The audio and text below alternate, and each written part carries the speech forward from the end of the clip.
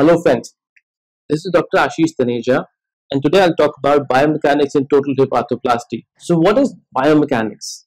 Biomechanics is a science that examines forces acting upon and within the biological structure and effect produced by such force. So to start with, let's talk about weight transmission. The whole body weight can be divided into different parts. Each lower limb is equal to one-sixth of body weight so if we include both the lower limbs, that means one third of body weight. So if we exclude lower limbs, the remaining body is two third of body weight. So this weight has to be transmitted by both the lower limbs. In a simple bipedal stance, both lower limbs will be transmitting about two third of body weight, which means each hip has to transmit one third of body weight in a simple bipedal stance. When we go to a single leg stance, the dynamics change. The effective center of gravity moves away from the hip as you can see here. The center of gravity moves away from the hip.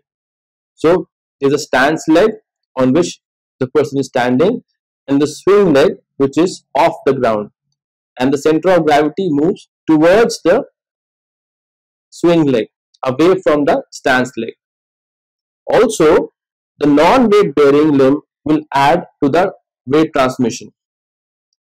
The total weight that will be transmitted through the stance leg will be two-thirds of body weight plus one-sixth of body weight of the unsupported limb which equals to 5 by 6 of body weight. Hip joint can also be classified as first class lever which means the fulcrum is in the center and the two forces that is the force and the load are on either side.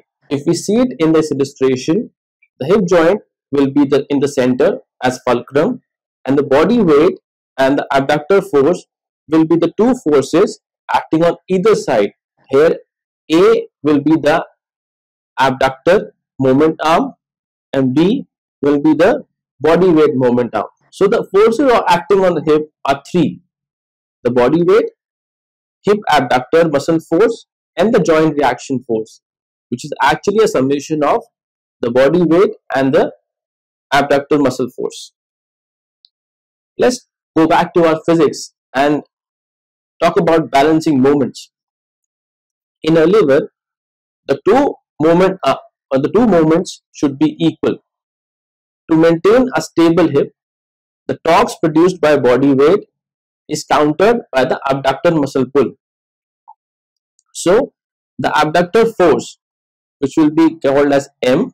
So you can remember abductor muscle as M, M for muscle into A that is the length of the abductor lever arm should be equal to body weight that is W, W for weight into B that is length of body weight moment arm.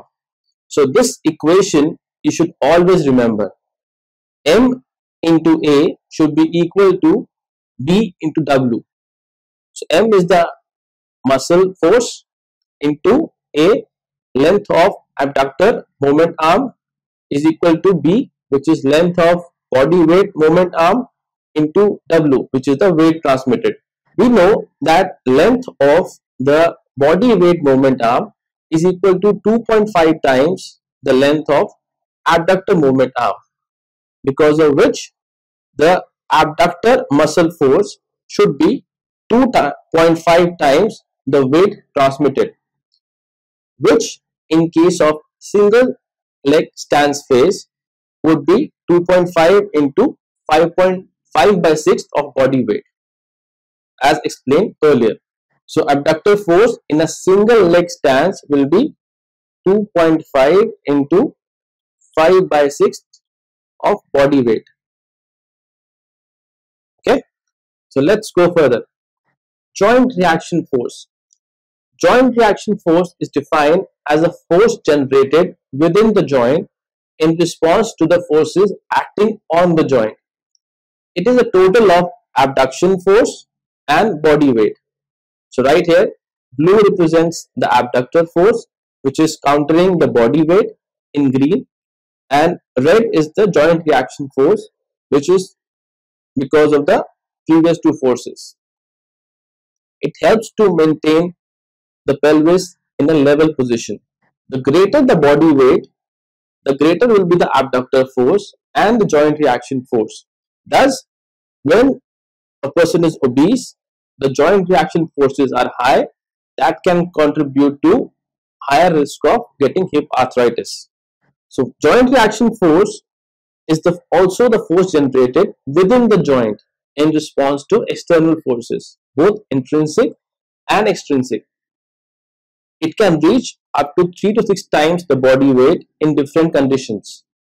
It is primarily due to contractions of muscle crossing the hip. Joint reaction force is 2 times the body weight in straight leg raise test.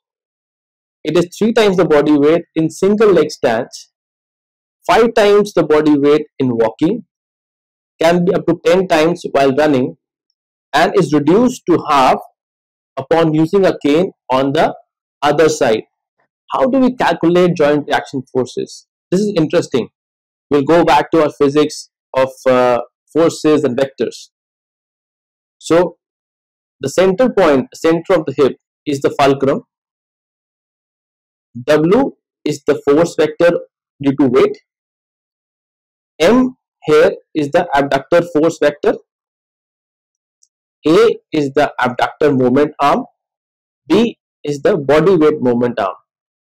So this is the free body analysis diagram. In a single stance phase, W or the weight transmitted is equal to 5 by 6 of body weight. This you should know. So let's go further. So how do we calculate my? my is the y-axis of the force vector of abductor muscle force.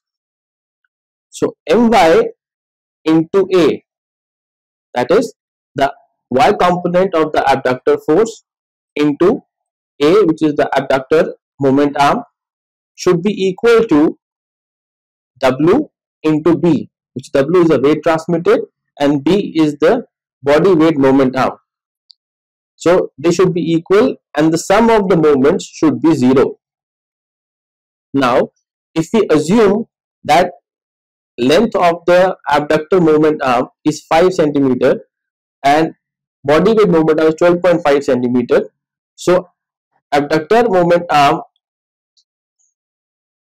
is 5 centimeter and body weight moment arm length is 12.5 centimeter.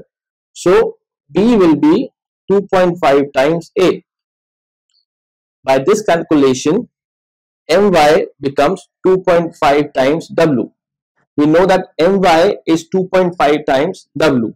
How do we calculate Ry? Ry here is the y-axis vector of the joint reaction force. Ry is My that is the y-axis vector of uh, abduction moment arm plus the body weight moment arm. So Ry is my plus w that is 2.5 w plus w is equal to 3.5 times w and we can calculate the exact uh, force vector r by using our trigonometry and it comes out to be r is equal to 4 times w we also know that W in this case is 5 by 6 of body weight. So eventually by calculation the resultant joint reaction force comes out to be 3 times body weight. I know it's complex but interesting. How can we decrease this joint reaction force? This is what normally our patients do. Whenever they get arthritis, they tend to start lurching on one side this is their way of decreasing the joint reaction force as a protective mechanism. So in Trendelenburg gait, the body tries to lurch on the affected side and this decreases the body weight momentum and the abductor functional demand causing decrease in joint reaction force. As you know, joint reaction force is a summation of body weight transmitted and abductor force. So if the abductor force decreases, our joint reaction force decreases and that tends to be protective for patients with arthritis. However, by doing this uh, bending or lurching uh, activity as in Gait, this is not a very efficient way of reducing the joint reaction force and the energy consumed is very high.